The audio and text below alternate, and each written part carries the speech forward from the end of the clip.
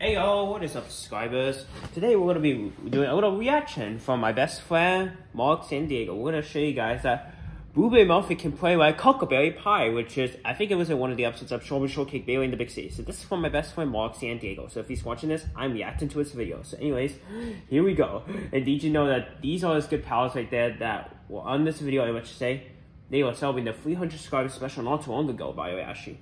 This video came out two years ago, by the way, so it was around March before I became a YouTuber.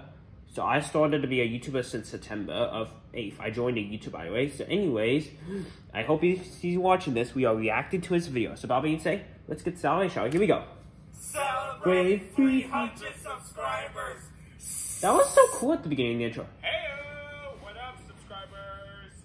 Guess what? I found something that it will blow your mind. Another Buckleberry hint. Huckleberry Pine Blueberry Muffins. Oh yeah. And guess what? Blueberry can play a string instrument just like Huck. Oh yeah, baby. You don't believe me? Here it is. That's my boy.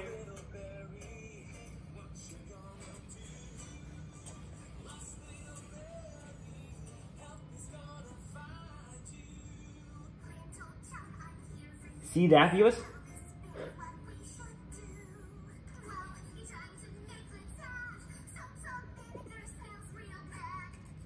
That was really good, my friend.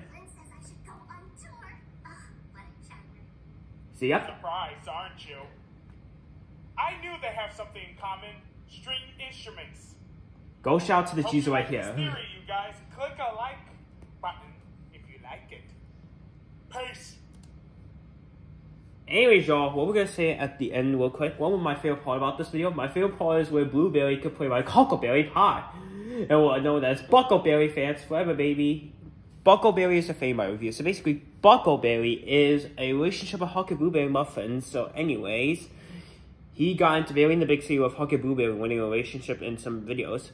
So yeah, he ships them by the way. So yeah. So guys, go subscribe to this user right now. Help him get to 600 subscribers this year. And we'll just say I hope we'll make the best out of it if he can help get more subscribers. So share, like, comment, and subscribe, and tell me if you guys want me to react to your video. I'll be happy to take your reaction video requests, show requests, people requests on YouTubers, including many much more. So yeah, we'll be doing that tomorrow. If you guys could just do it now, then I will be happy to appreciate from you guys to do it now. So share, like, comment, subscribe. And go shout out to this user right here for being my best friend and for also being autistic like I have, and also for him being a Blueberry Muffin and Huckleberry Pie fan. And last thing to say to him, Buckleberry forever, baby! So I hope he's gonna be really happy once I react to his video. So those were his friends, by the way. I wonder about one question for him. I know who that person on the right was. It was James, but I want to ask.